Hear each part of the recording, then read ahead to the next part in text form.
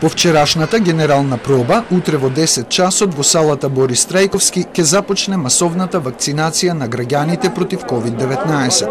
Од критичната инфраструктура професии, први новие столчиња ќе чекаат ред и ќе влезат во кабините за вакцинирање со руската вакцина Спутник В, вработените во МВР и здравствените работници.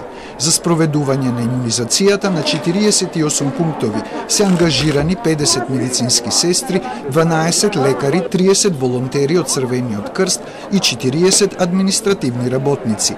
Во јавноста се отворија дилеми околу вакцинацијата поради прецизните одредби од Законот за заштита од заразни болести.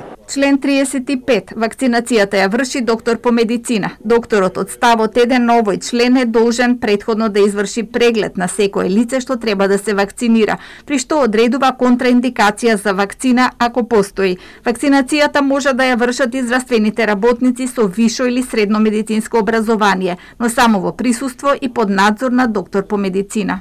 Од Министерството за здравство со одговор дека вакцинирањето ќе се спроведува според законот од стручни вакцинални тимови кои со години работат на имунизација на населението и дека вакцината Спутник В е пакувана во шишенца по една доза со што се олеснува и забрзува процесот.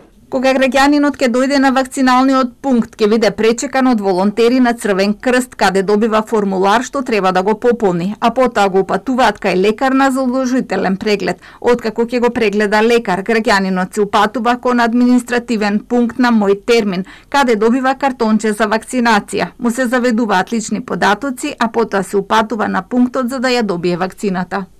Откако ќе биде вакциниран, секој граѓанин повторно оди на вториот административен пункт, каде во картончето се заведуваат неговите лични податоци, која вакцина ја примил и му се закажува термин за ревакцинација. Граѓанинот 10 минути останува во салата, во просторот за одмор и заминува. Планирано е на почетокот на масовната имунизација да се вакцинираат околу 3000 граѓани дневно, а потоа ќе се повикуваат по 7000 согласно националниот план – Од февруари, откако започна вакцинацијата во земјава, до почетокот на овој викенд се имунизирани вкупно 9003 здравствени работници и граѓани над 77 години. Заради дезинфекција и сврлање на медицинскиот отпад, вчера и денеска немаше вакцинирање на пунктовите во болниците Букурешт, Јане Сандански и во Чаир.